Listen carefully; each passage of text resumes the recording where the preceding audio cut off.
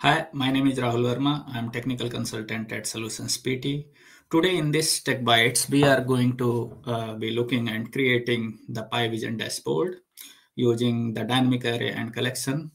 The people who don't know the PI Vision have not used it. Uh, the PI Vision is the user interface for the PI.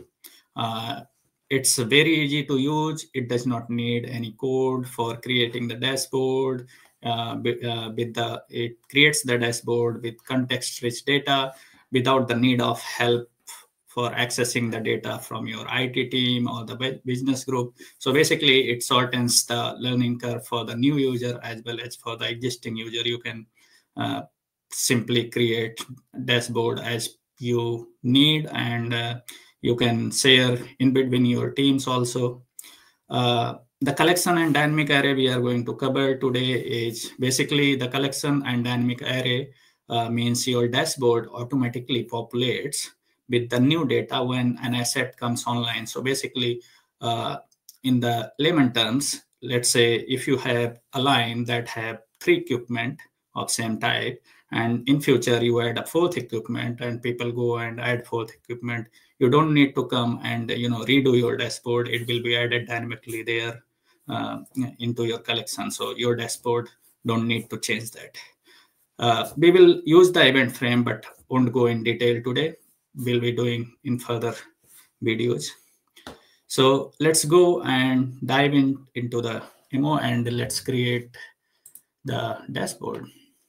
So as you can see, it is a web-based application. So anyone using the PI Vision, they will have their web login and with their you know server so right now we have this server and we I have already logged into the PI Vision.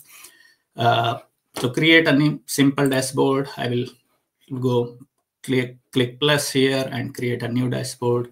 Uh, explain a little bit onto the side what we have got here. So here we have got two factory layout actually two plants. So factory plant production line.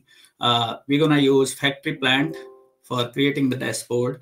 Uh, there is no limitation that you cannot use the other plant data in the same dashboard. You can use multiple uh, plant data in the same dashboard.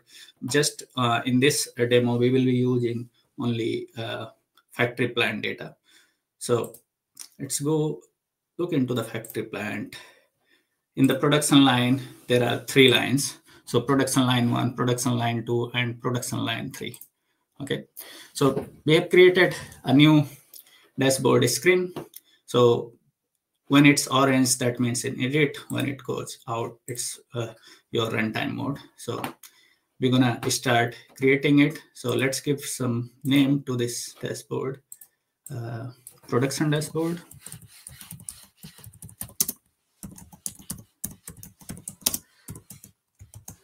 Of uh, so first of all, I want to save it with give some name production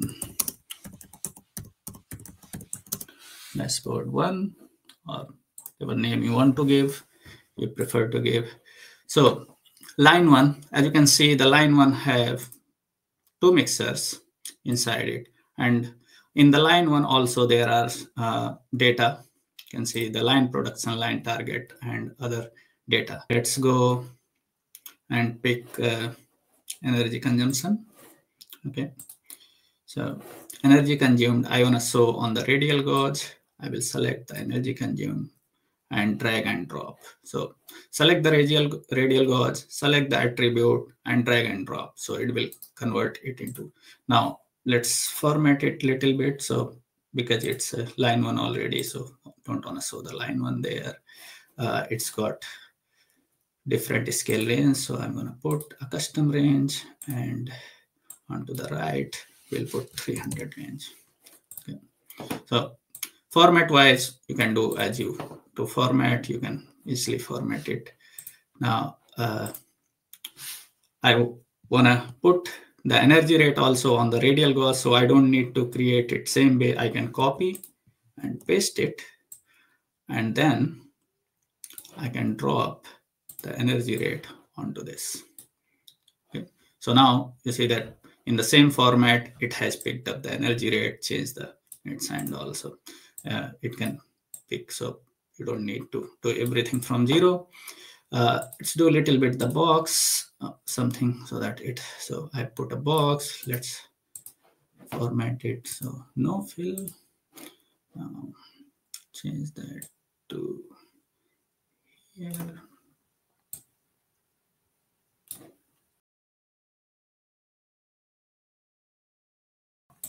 Now you can group it. I could have grouped it before and then copied it. Just didn't remember to do that. So you can group it and then copy it. It will be all copied all together.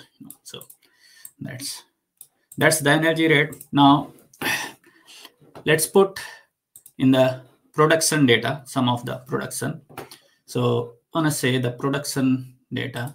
No, let's put eh, so let's say total production.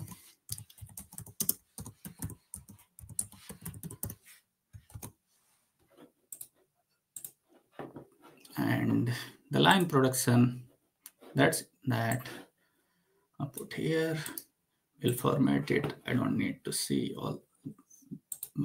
I just need the no timestamp no label just value and unit. Need to increase it to same size. And that's our total production. Now uh, let's copy and paste. Same way to create quality and the parameter. So what else we got here? Line target. So and quality percent. So we can put here production quality.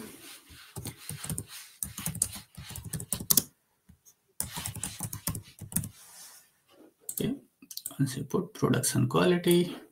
The similarly i'll be it here. We don't need to go and format that. So we pick that and drop it here into that. So it has changed with the unit as you can see. Uh, now line target. So production target drop here. Now i need to change this to production target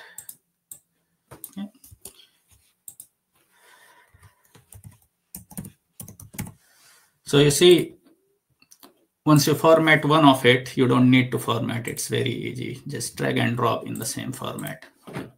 So uh, let's put a little bit box in box it in so that they are separate, similar to the last one. I'm gonna put a box around it.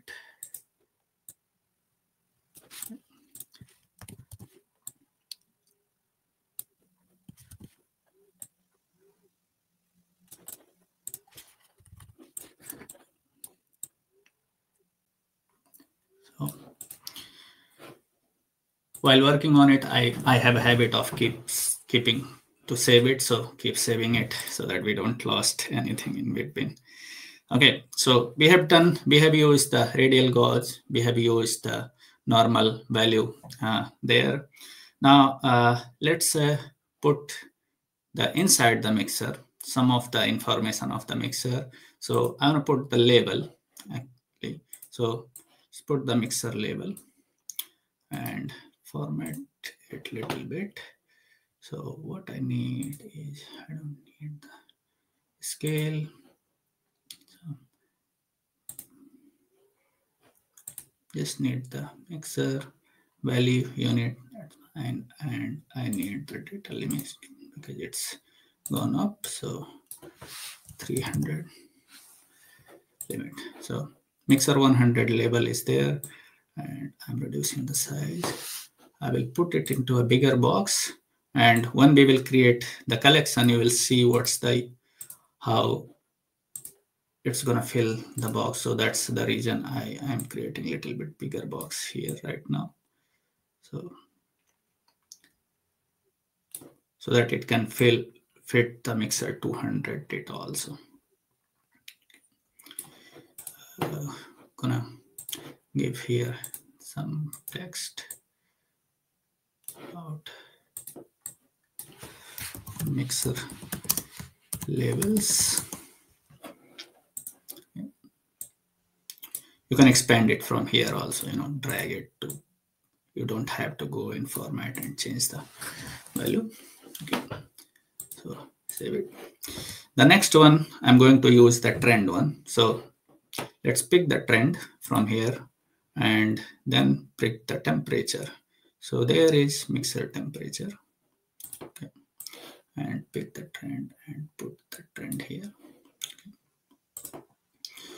Now that's the trend, configure trend. So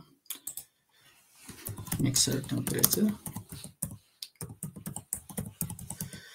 Uh, you can configure it, you know, as you want, uh, the data wise. You can configure with the fixed time range or, you know, all those. So you can configure or during with the duration or offset or so display time range means whatever time range I'm selecting here that it will display. If I select here one hour, it will display last one hour of the trend. So just to keep in mind when when you are configuring the trend, what time scale it needs to follow, you can select it from here. Okay. So I've selected whatever the screen time range is. Okay. So that's the mixer time. So that we have used. Now uh, I wanna use asset comparison table. So the asset comparison table is very useful when you want to compare like, you know, mixer 100, 200 values. So we are going, we will pick some of the mixer, uh, well, let's say mixer running time okay i can select multiple and then drop all together or i can select one and then uh, start dropping other uh, into it okay so i can select like that see mixer power rating uh, hourly production what else uh, level temperature we have already done energy consumption for that mixer so that energy consumption is not the total. This is for total production line, and this is uh, your uh, mixer consumption. Okay, and then the process step. So you can add all the parameters of the mixer. Okay, so bring another asset to drag and drop the asset into the table.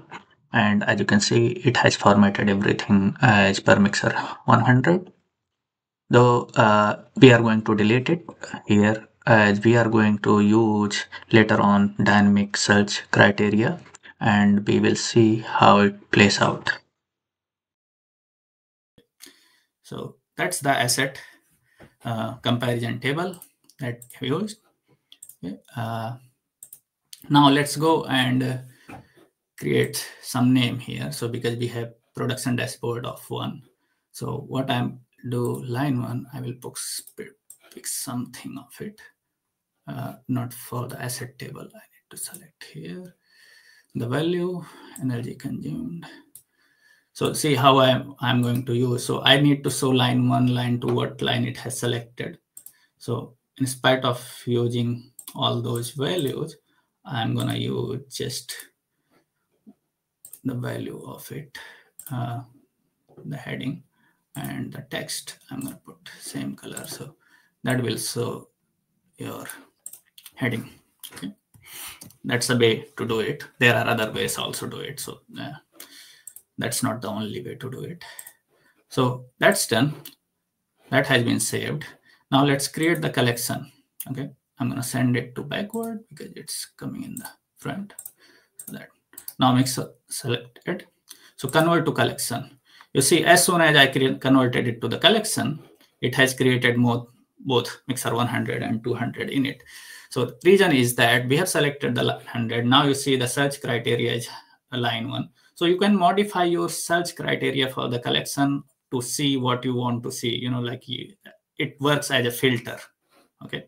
So you create the collection and then it will dynamically so uh, for different lines also. So we will see in the last that how, how it plays out.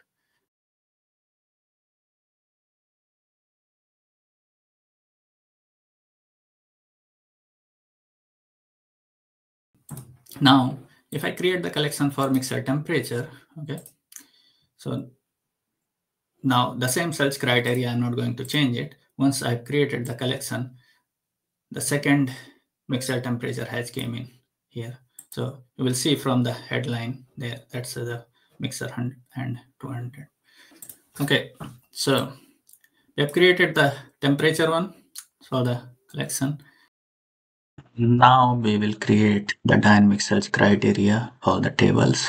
You can see there is no collection in the table. You have got only the dynamic search criteria here.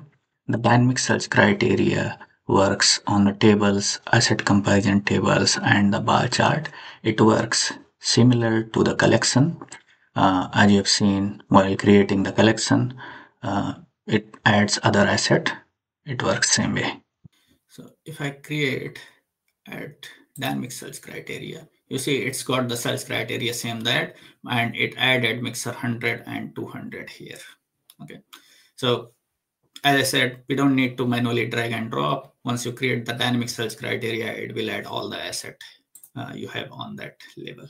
Okay. So that's been created. Now let's save that. Okay.